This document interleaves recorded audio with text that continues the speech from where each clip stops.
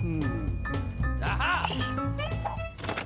Two massive murals on a mountainside can be seen from all over South Ogden. In this week's edition of Uniquely Utah, Fox 13's Todd Tanner introduces us to the artist behind the mega-sized masterpieces.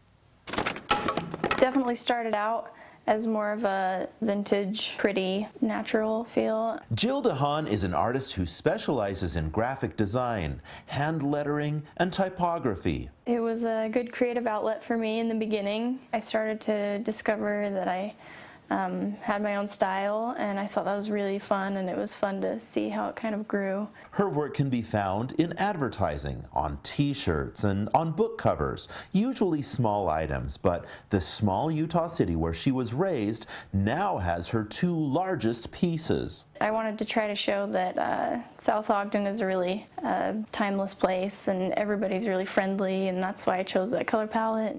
In South Ogden, above Harrison Boulevard, are a pair of 1 million gallon water tanks built in the 1960s.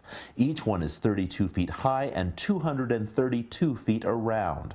A few years ago, the city asked for and received dozens of ideas from artists about how to turn austere into art. I was still a student at the time. I didn't even consider entering, and my sister uh, called me and and said, "You need to enter," and I and I was like, "Okay, I guess I'll just throw something in there really quick, you know." It's not gonna make it, but whatever, you know. It was a huge surprise. It was really exciting when they when I got the call. The paint job went up almost a year ago, and many people see the images as giant postcards or billboards for South Ogden.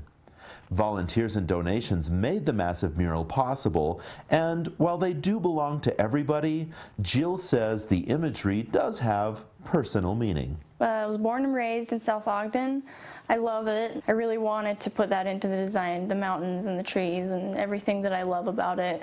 I'm, I'm proud for what I did at the time, and I think it'll uh, be able to stay classy for a little while, so I think that's good. In South Ogden, Todd Tanner, Fox 13 News, Utah.